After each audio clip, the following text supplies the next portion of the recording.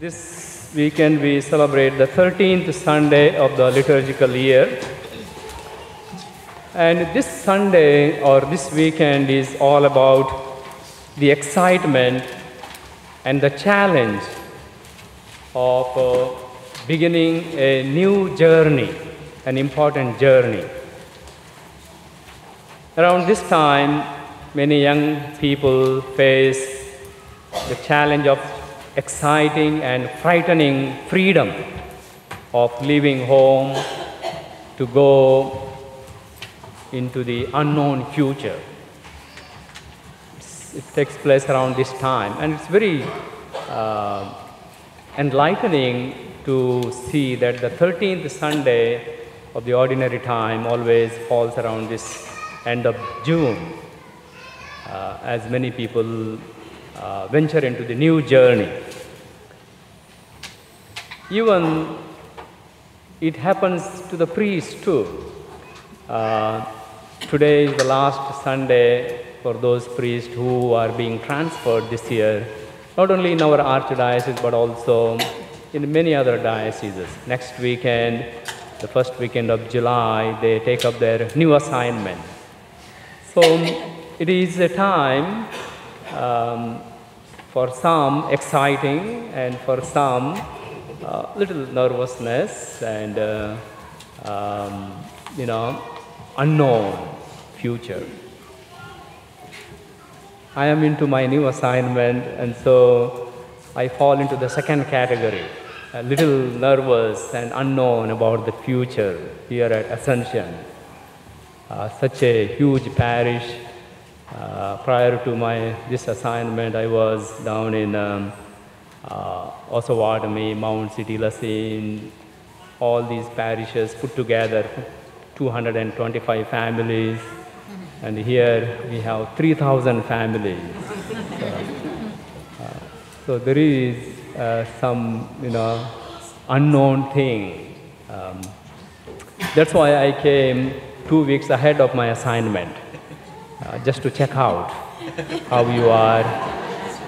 And so far, so good. Or I should say, so far, super nice. Uh, but sometimes, you know, we are good in the beginning and then we slowly tighten the screws. Huh? But I feel, I get a sense of being, um, you know, at ease and um, well welcomed, and thank you for that.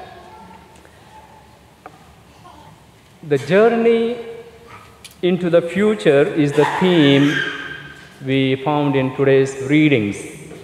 In the first reading, we heard about Prophet Elijah. Um, he is now tired out uh, and he wants to find a worthy successor um, for the work to carry on. And he finds one. He finds one young man, Elisha, uh, son of a rich landowner, and he goes and throws his cloak around his shoulder. And um, Elisha feels the Spirit. And then Prophet Elijah reminds him who sets the hand on the plow and looks back to see what was left behind he is not fit for the kingdom of God. Reminding him of the commitment to his calling. And we know the story Prophet Elisha, he leaves behind everything and then follows his master. Even in the Gospels, Jesus invites his followers to accompany him on his last and exciting journey, important journey, important journey of his life from Galilee to Jerusalem. He has been doing all sorts of miracles, healings, and uh, preaching those wonderful sermons, Sermon on the Mount. Many people are attracted, and now he starts his journey to Jerusalem, a journey to face the cross, journey to the cross. And so Jesus takes time to remind his followers of the cost of following Him.